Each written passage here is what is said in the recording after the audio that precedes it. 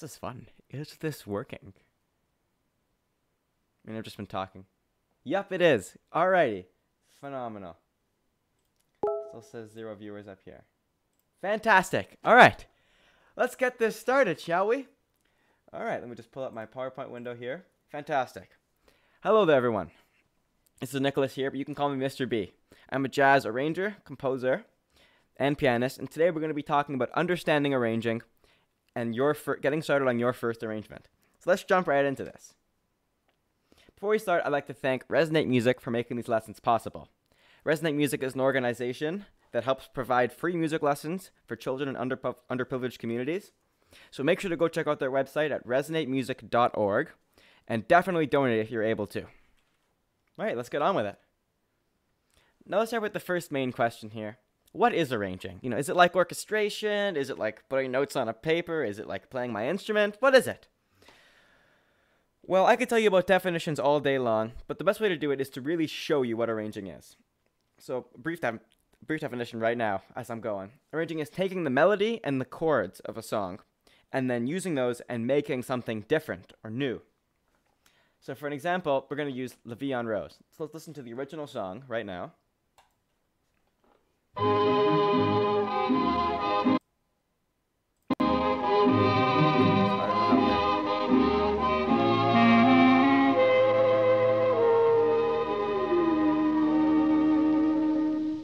yeux qui font baisser les miens, un rire qui se perd sur sa bouche, voilà le portrait sans retouche de l'homme auquel j'appartiens.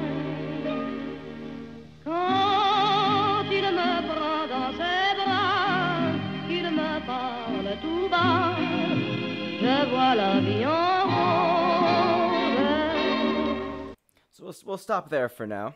So let's move over to this piano arrangement that I did for a talent show a little while ago. So as you can see here, I've rearranged it for a solo piano. So let's take a listen to that.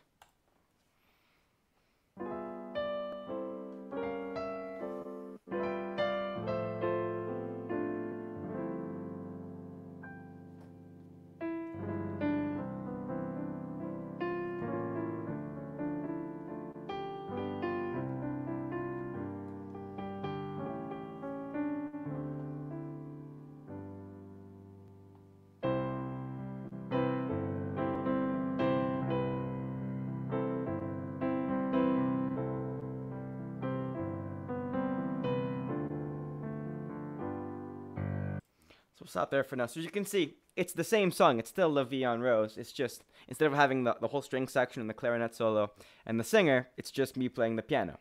So that's arranging at a more minuscule scale. Now let's talk about big band arranging, or arranging for larger ensembles, which is much more popular than piano arranging.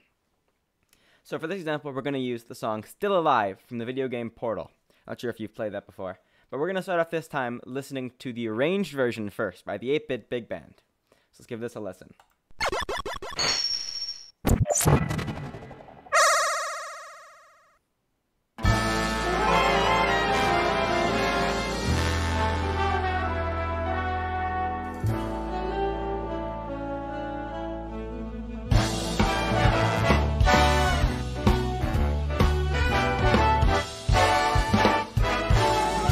This was a triumph.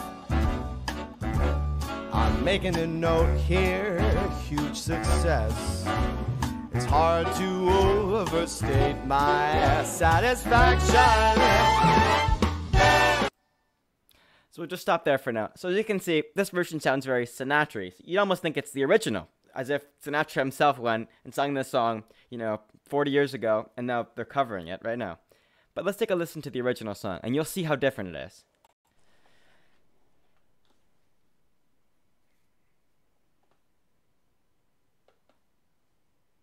This was a triumph. I'm making a note here, huge success. It's hard to overstate my satisfaction. Aperture science. We do what we must because we can for the good of all of us, except the ones who are dead. But there's no sense crying over every mistake. You just keep on trying till you run out of cake. And the science gets done, and you make a neat con for the people who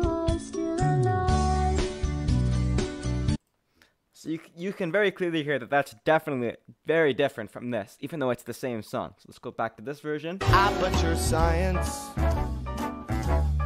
Do what we must because we can. For the good of all of us, except the ones who are dead. But there's no sense crying over every mistake. Keep on trying till you run out of cake. And the science gets done, and you make a neat gun for the people who are still alive. So you can very clearly hear the difference between the two versions. And that right there is arranging. That's arranging. You take a song and you make it completely different. So if, if you're not listening closely, you sometimes can't even tell it's the same. Now that's all fine and dandy here, you ask. But what's a real world example of arranging? Well, I'm glad you asked. Arranging is very much used in film scoring. And so for this example, we're going to be using the movie Ratatouille by Pixar, one of, one of my favorite movies of all time. Now, in, in film scoring, composers use this arranging technique to take their similar motifs and phrases and, you know, make music for the entire two hour long movie instead of just five minute long songs. So let's take a listen to this first song, which kind of defines the tune. This one's called Le Festin.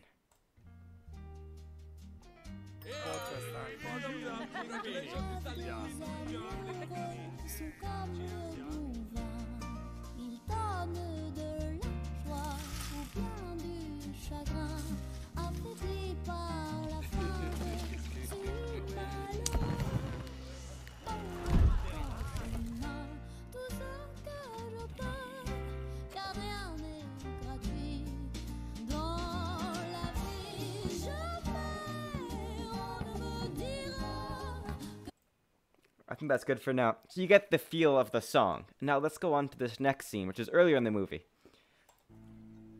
I have to skip forward a little bit though, so.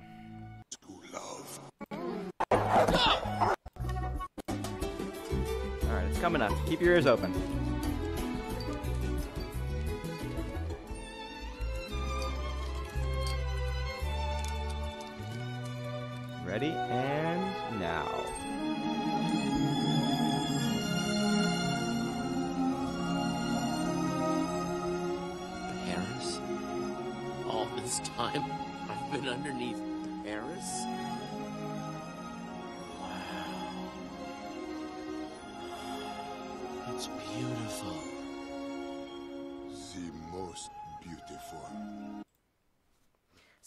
It's definitely different. It's more of a waltz feel, not the whole song feel, but it's the same melody, the same chords, just arranged differently.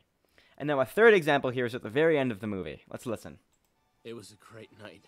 the happiest of my life. But the only thing predictable about life is its unpredictability. Well, we had to let Skinner and the health inspector loose, and of course they ratted us out.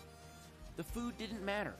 Once it got out, there were rats in the kitchen. Oh man, the restaurant was closed, and Ego lost his job and his credibility.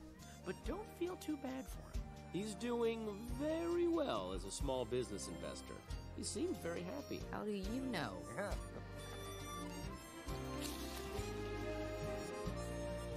dans la vie, jamais. Ah, gotta go. Dinner rush. So you hear right there how there, the melody was there, played by an accordion or some other sort of instrument like that.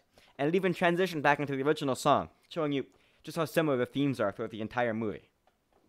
So that's another real world example of arranging. Now, what's next? The things you're going to need to know. What are some things that you should know when we're going through these lectures so you're not like completely lost? Well, for starters, I'm understanding so I'm assuming that you play some sort of melodic instrument, so a piano, saxophone, clarinet, trombone, any old instrument like that. Drums, I wouldn't say as much because there's not much melodic understanding, you know. Reading sheet music is also a necessity because we're going to be writing sheet music, so that would definitely help. Also, if you don't play one of these instruments, but you want to learn how to arrange and want to learn how to play an instrument, once again, head on down to resonatemusic.org and come, get in touch with somebody, and we'll get you set up with a lesson. All right, let's keep going. Now, through these video lectures, the end goal is to have you all writing arrangements for full jazz ensembles, well, jazz arrangements for full jazz ensembles.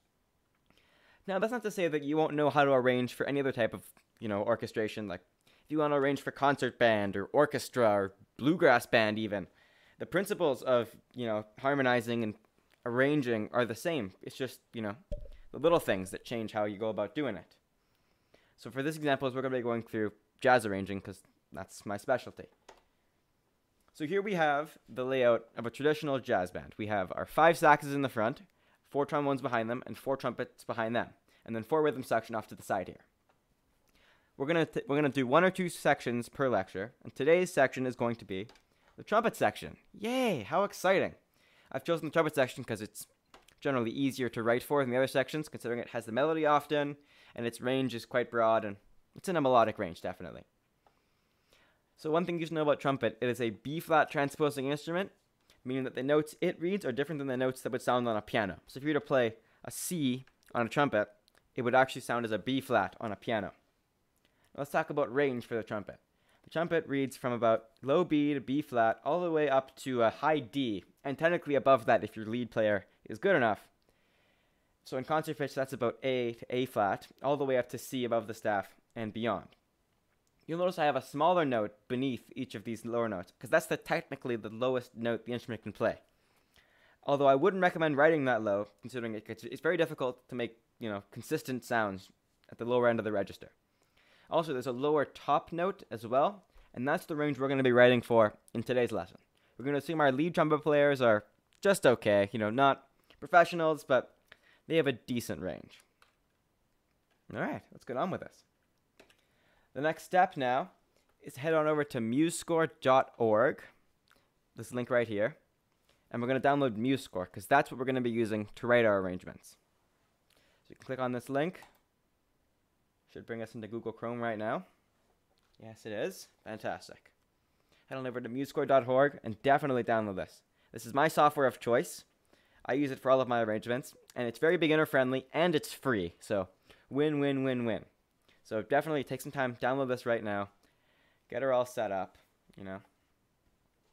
I'll just wait here while you do that. It's okay. Bum, bum, bum, don't take too much time though, because we do have we do have a schedule to get to follow here. I'd rather not make this run, you know, way too long. But let's all right. Take your time, download it, downloading, downloading, downloading, downloading. Run the installer. It should run. And then boot it up. Like, and then before you boot it up, or actually after you boot it up, it's totally okay. The next part of our PowerPoint is I'd like you to join our Google Classroom as well. I have a Google Classroom set up where you can download all the files we'll be using for this lesson, as well as submit some assignments where I'll be giving some feedback as well. Whoops. That's okay. I didn't say whoops. That's okay. Here's our class code right here for, for that as well, once you're ready for it. I'll take some time here. It's alright. No rush. Put on some nice background music, shall we? Let's see, what can we listen to? I'm thinking some more arrangements. Let's put on this nice arrangement. Nice and quiet. Just while you get yourself ready. Me just check the chat, to see if anybody's saying anything. That way I'll know. Four people watching, that's an accomplishment. Wow. That's really cool. So take some time, download it, join the Google Classroom. Once somebody joins this, I'll move on to the next section. Loud, actually. Down a little bit. Ready? Anybody yet? Not yet. That's okay. We got a question. What exactly is the purpose of arranging music instead of using the original music? Well, I went over that a little bit earlier, so you may have been a late person to get there. But arranging music is taking the music and changing it. So, A for covers. It's also very useful in film scoring. Let me just go back to my slide right here. As you can see, let me just stop that music. No, it's very relaxing. So you can let's analyze it one more time here. This is the original theme, as you can see, the original theme in the movie.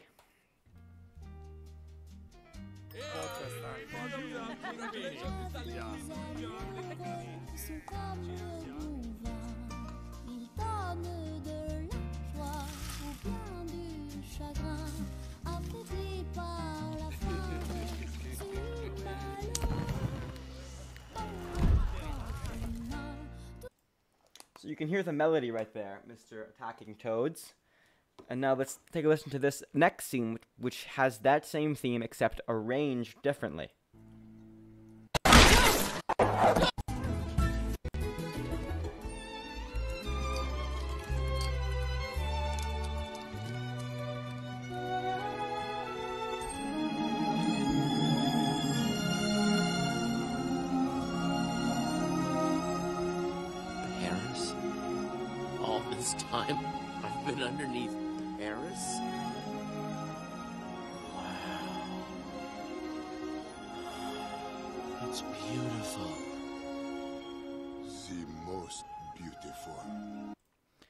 You heard right there. You can see it's the same theme except the mel- the rhythms are changed a little bit. Same notes, same chords, whole different song as you can tell, whole different feel. It's not like a fun-loving French song. It's a it's a waltz, right? He's he's coming up and he's singing the whole world. It's lush strings. It's beautiful.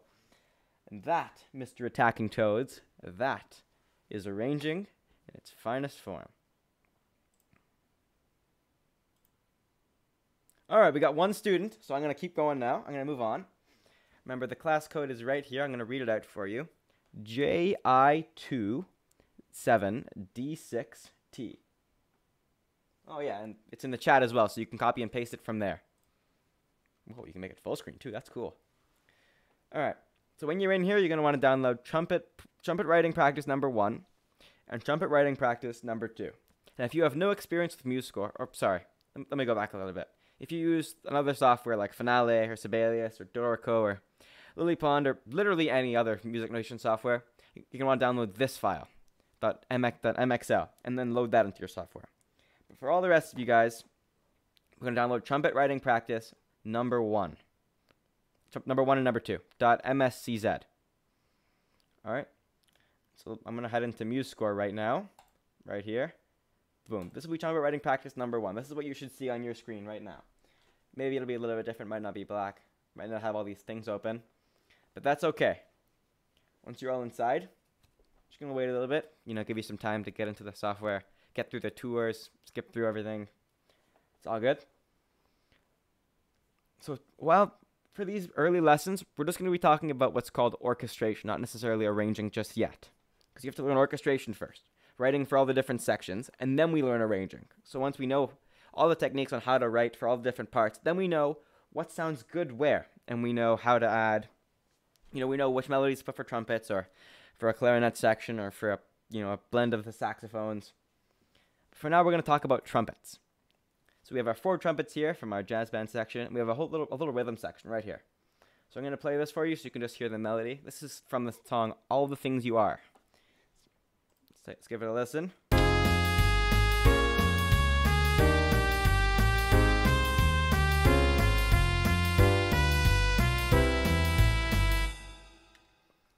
There's the melody right there. The whole thing. Now what we're going to do is we're going to take this melody and we're going to do what's called harmonizing it. So we're going to take these chords and we're going to write them for these notes. Isn't that so cool? Totally cool. So as we know, all these seventh chords are all written, all jazz chords are written in four voices. Seventh chord, so if we pull up my piano keyboard right here, we have F, A flat, C, E flat. There's our F minor 7 chord. B flat minor 7, B flat, D, F, A flat. That's our, our four voices. And that's why we have four instruments per section, you know, four rhythm section, four trumpets, four trombones. There are five saxes. We'll talk about that in a later episode when I'm working on the saxes. But for now, we're talking about trumpets. All right? So what we're going to do is we're going to we're going to go here. We're going to click on our first note. We're going to click on our note input button right up here. This lets us input notes with our mouse. And we're going to build the remaining notes inside this F minor 7 chord. So F minor 7 we know has F, A flat, C, and E flat. So we're going to fill in those notes beneath this note. So A flat beneath that becomes F, and then E flat, and then C. Like that. Now we have our F minor 7 chords. We play that. Hear that? Now it's harmon that note is harmonized. We're gonna go to our next note. Our note input button. And we're gonna go up to this rhythm selection panel and make sure we have the correct rhythm selected. See, this is a dotted half note, but we have a whole note selected. So we go to half note, and then rhythm dot right here, or augmentation dot. And we're going to build the B flat minor 7 chord beneath that. So we have our D flat on top. So beneath the D flat comes the B flat, then the A flat, then the F. And now we're going to go back and select our quarter note because the next note is a quarter note. A quarter note. And then we we're going to build that same chord except with an A flat on top this time. So A flat, beneath that is F, beneath that is D flat, and beneath that is B flat. Also, before I go any further, make sure you have this concert pitch button turned on. It's a little bit cropped out right there, you can see. But this this this concert pitch button should definitely be on. Otherwise, you're going to be writing in the whole wrong key, which is no no good. But now we're moving on to the next chord, which is an E flat major 7 chord. We know that chord has E flat, G, B flat, and D. So we're going to build that chord beneath the top note, which is the G, the melody note. So G, E flat, B, natural. So we're going to press the up arrow key when we click on our B, right there. So it's a, so this natural key. Alternatively, what you could do is you could go in here and find the section called accidentals and drag this little thing right there. Do that. And then we click in our B. Boom. There's our one chord. And now we're going to do that three more times for these remaining notes because it's still an E flat major 7 chord. So e flat, B, D, and then B flat. So you can see we don't need to add accidental twice because it's already over here. Keep going all the way down. Three, one, two, three. There we go. We're like we're almost halfway through. Now we're gonna build our A flat major seven chord with this G. So you know A flat major seven has A flat, C, E flat, and G. Also, if I'm going too fast, please let me know. I, I have no way to let I have no way to know if I'm going too fast or too slow. So we're gonna keep we're gonna build that A flat major seven chord on this G. So G next is E flat, then C, then A flat. And then next is this C. So we're going to go C down to A flat, then to G, then to E flat. And then back to G. And then we're going to do the same chord over here because it's the same inversion. G, E flat, C, A flat. Now next chord, D flat major 7. We know the chord the, the notes in that chord are D flat, F, A flat, and C. So F, D flat, C, A. Because we're building the chord down. So we're going to do that three more times again because it's the same note all the way through.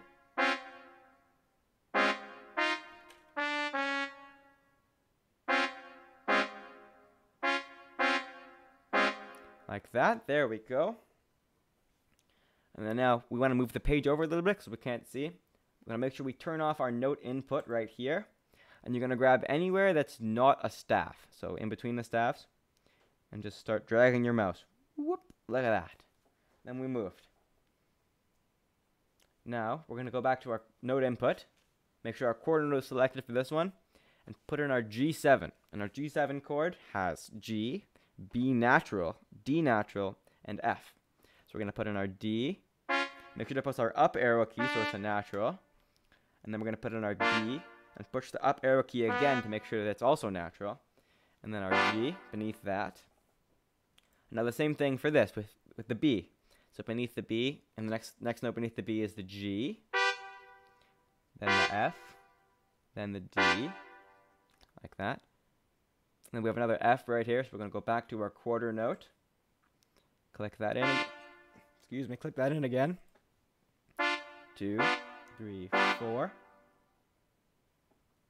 And our last chord is a C major 7. So we're going to go back, pick our whole note option, and build our C major 7. So we have E, then we have C, then B natural. So remember to press the up arrow key so the natural shows up, and then a G right there. Ba ba booey, right there. Sorry about that. I'm going to turn our note input off.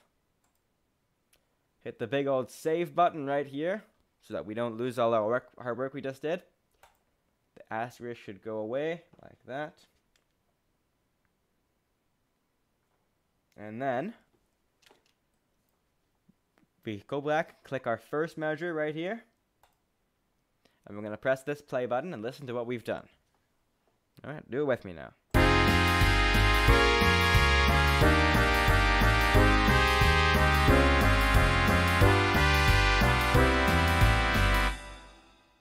Nice. And now the final step to completing this is we're going to click our first measure and we're going to hold our shift key down and click our last measure. So you may, you may have to scroll a little bit to reach that. And last measure right there. Boom. So it's all blue and all selected. And then we're going to go up to tools right here. And we're going to click explode. And so what that does is it spreads out the chords that we just wrote and it divides the notes up all along these stabs right here. So now you see it'll sound the same if you play it back. But now each player, trumpet 1, trumpet 2, trumpet 3, trumpet 4, they all have their own respective notes. Alright, so save that again one more time, make sure we don't lose our work. And then play it back one more time.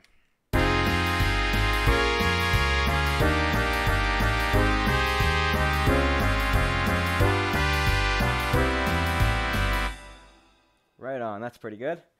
Alright. Now look at that, we've finished our first project. This is what we're going to be doing for the next one as well. The next one's a little bit different though. Here we are. I want you to now open up trumpet writing practice number two. I already have it open, but I want you to go ahead and open that next file right there. It should look a little something like this. So this is what's called the lick. It's a jazz lick, technically. And so what we're going to do is we're going to take this and we're going to harmonize it like we just did the last one. So our, we're to we're to click our eighth note, turn on note input, click our eighth note, and build the chord written out. See? B flat minor 7. See, there's a B flat right there, so we can build off of it. We're to go A flat, sorry, then F, then D flat. Now our next note is a C. That's not good. There's no C in the B flat minor 7. Oh no, what do we do? Well, not to worry. There are ways you can go about this. The next logical step, if the note in your phrase doesn't match the chord, what you want to do is you want to look for the dominant or the fifth note of that first chord and then build the seventh chord for that one. So we have B flat. The fifth of B flat is F. So we're going to try an F minor 7. Does an F minor 7 work in this? Does F minor 7 have a C? Yes, it does. So we're going to build our F minor 7 right here. Sorry, get an F and then an E flat right there. Now our next note, D flat. That's in B flat minor 7. So we can build our same chord again. B flat, A flat, F. Now the next note, E flat. That's not in, D, in B flat minor 7. Next question, is it in the dominant? Is it in F minor 7? Yes it is. So we're going to go ahead and build an F minor 7 chord beneath that. So we have our E flat already, then C, then A flat, then F. And then we have our next chord right here. E flat 7. Is there a C in E flat is there a C in E flat 7? Well, no there isn't. Is there a C in B flat 7? No, there isn't. That's a shame. So now what do we do? right here, you're asking. Well, what you can do is make it the ninth chord. It's always an option. So instead of having our seventh chord, our B flat, an E flat, a B flat minor seven, we'd have a B flat minor nine. Let me turn my note input off. If you look at the little keyboard right at the bottom here, if I bring that up for you, I'm gonna put B flat, F, flat, A flat. I'm gonna add the ninth to that, which is the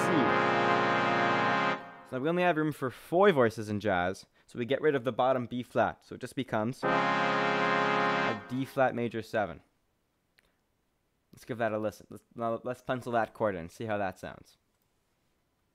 Right?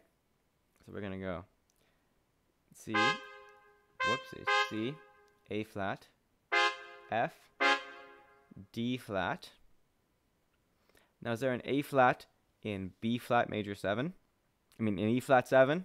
No, there isn't. Yes, there is. I'm sorry. Pardon me. Is there an A flat and an E flat 7? No, unfortunately there isn't. Next question. Is there an A flat in B flat minor 7, which is the dominant of E flat? Yes, there is. So we're going to go to our eighth note button right here and do our and build our B flat minor 7 beneath that. A flat, F, D flat, B flat. Now our last chord, A flat major 7. There's no B flat in A flat major 7, unfortunately. But there is a B flat in A flat major 9. So we're, so we're going to use B flat major 9 for this one. So let's do that. So we're going to build our so we have our 9 chord. I'm going to turn my note input off for a second here. So you see we have the E flat 7 and then we build we put the ninth on top and get rid of the bottom note. It C minor 7. So let's write that in. G, E flat, C. Nice. Now we're going to go back over here to our whole note. Make sure our whole note is selected. And build that same chord again. So C, E flat, C. And then we're going to click tie for each of these notes so that the note ties over. And now let's make sure we save that again. We don't want to lose our hard work. And let's give that a listen.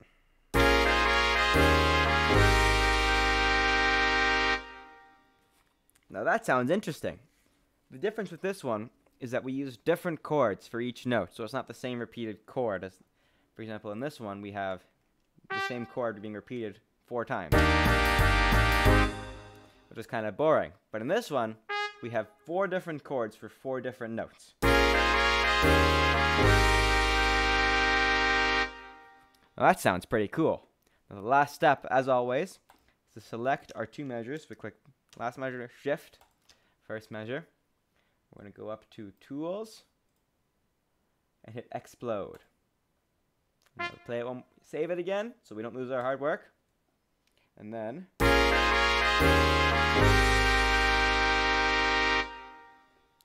Now that sounds pretty cool, don't you think? I definitely think so. Right on. This is going great. Now, are there any questions before we keep going? If there are, put them in the live chat right now, and I'll answer them right now. So I have my phone on my keyboard right here, and push one of the keys down. But let's see. Type Google Classroom here. Nice, we got two people in here. One other person joined. Phenomenal. I am so glad you're here. Hopefully everything's going okay. If you guys still need more time, that's totally all right. We're in no rush here. Boom. I'm gonna put that music back on because it's very relaxing.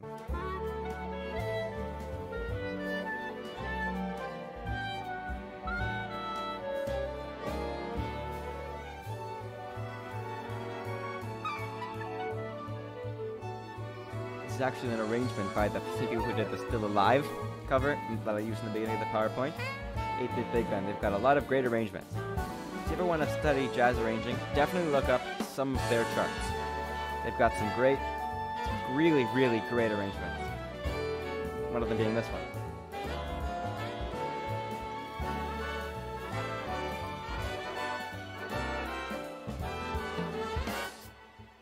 Alright, if you guys are good for me to keep going, then just put a little go ahead right in the chat. Or if you don't, I'm gonna keep going in like a minute.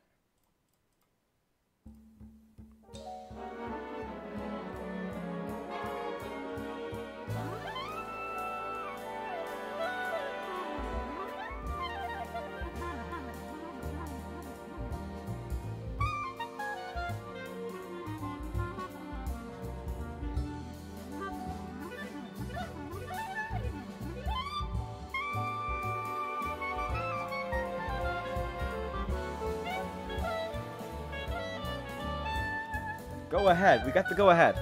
Fantastic. So now comes the unfortunate time when we're nearing the end of the lecture. Now I'm going to be assigning some homework.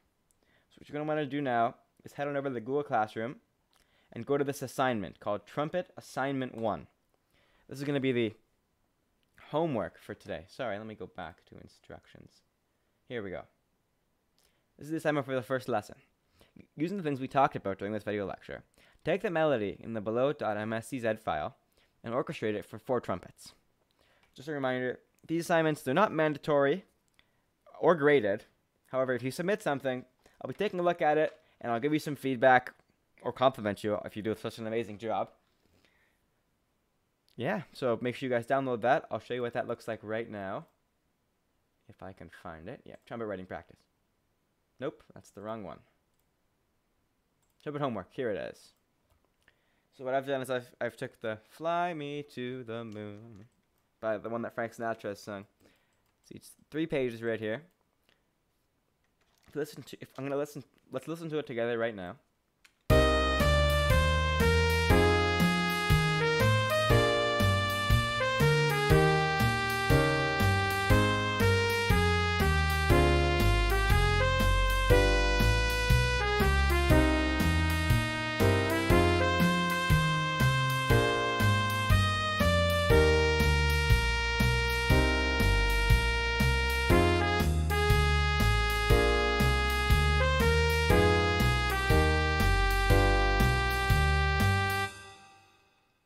The entire melody right there. So you can see, first the file got a little bit corrupted and didn't put these ties in here. So just make sure you do that for when you when you have it downloaded. And yeah, so just remember what we did for this one and this one. We're going to apply those same principles, you know, building the chords, you know, especially in the secondary dominants if they're not in the same chord. And yeah, go crazy with it. Let's do the first couple measures together. Let's do the first four measures together right now. Let's start. C minor 7, alright? Is there an E flat in C minor 7? Yes, there is. So we just build the C flat minor 7 beneath that. Right there. We've built our C minor 7 right there. Now, next note D. Is there a D in C minor 7? No, unfortunately, there isn't. Now let's look to the dominant chord, G minor 7. Yes, there is. Let's build our G minor 7 chord right here. Is there a C in C minor 7? Yes, there is. We build our C minor 7 chord. Is there a B flat in C minor 7? Yes, there is. So we just build our C minor 7 chord. Now A flat. Is there an A flat in F minor 7? Yes, there is. So we're going to keep doing this. We're going to build that same chord. Remember, selecting the proper rhythm each time. C. Then we're going to turn our note input off. And we're going to put ties on each three of these notes. So, tie, tie, tie. Good. We're going to save that periodically because we don't want to lose what we've been working on. Now let's do this. Is there a B flat in F minor 7? No, there isn't. Is there a B flat in the dominant of F minor 7? Which is C minor 7, and yes, there is. So let's build that chord. Is there a C in F minor 7? Yes, there is. So we're going to build the F minor 7 chord beneath that. E flat in F minor 7? Yes, there is. Build our F minor 7 chord right beneath that. Next, our B flat 7 chord right here. Is there a B? Is there a D in B flat 7? Yes, there is. So we're gonna we're gonna build our chord beneath that. B flat. Whoops. B flat. A flat. F. And then we're gonna do the same thing over here because the notes are tied. Remember, we're gonna turn our note input off, and then click on ties for each note, just like this. Boom, boom, boom, like that. And then now. Is there a C in B flat 7? No, there isn't. Is there a C in the dominant of B flat 7? Which is F, F minor 7. Is there a C? Yes, there is. So we're going to build that chord. Is there a B flat in B flat 7? Hmm, I don't know. Is there? Yes. Yes, there is. Is there an A flat? Yes, there is. Right there. As you can see right here, we have the E flat chord. So we're just going to build. This is no, this is the special occasion because the E flat chord is a triad. It's not a it's not a four note chord. So whenever we see that, and it, so you see right now we're in the key of E flat major or C minor. So we can use E flat major seven. I'm gonna, I'm gonna pencil that in right now. We can use E flat major seven because we're in we're in E flat major. So we're going to build our E flat major 7 beneath that. Right there. And the problem is, if you see here, it changes chords midway through the bar. So what we need to do, this is a spatula, make sure you're paying attention. We click on our note, that's going to change. And we're going to click this button right here, the number 2. Boom. Now these are in separate voices, which means we can make this a half note, and these stay as whole notes. And then here, we click on the second half rest that popped up. We're going to put in a D flat. Right like that. Now you might have a couple of, you might have some trouble when you're um, uh, exporting, when you're exploding this. And so that's okay. If it ends up getting all messed up, just fix it by hand. So for example, if I just show you how to, if I explode this measure right now, you'll see it didn't quite work that well. So, so what you're going to do in this scenario is you're going to want to do what's, you're going to want to cut this. So you're going to do right click, cut, or control X, and then explode this. See, boom, now we can see the missing voice goes there. So we'll leave it here to the side, and then take this, cut that, paste it right there, and now cut this, paste it right there. Now you could always use the keyboard shortcuts, so Control C, Control X, Control V. I'm using the, the mouse just so you can see. So now you can see it's exploded properly. Now when you're finished this assignment, sorry, I shouldn't say assignment because it's not really an assignment. When you're finished this, um, you want to head over to Google Classroom and drop it into the box right here. And I'll take a look at it and I'll tell you, great job. Also, if you finish this in like 15 minutes and you've got loads of extra time, another thing you can do is you can take these rhythms and you can change them up a little bit. So like make this a dotted note. See how it changes. So let's just get rid of these notes in the piano right now.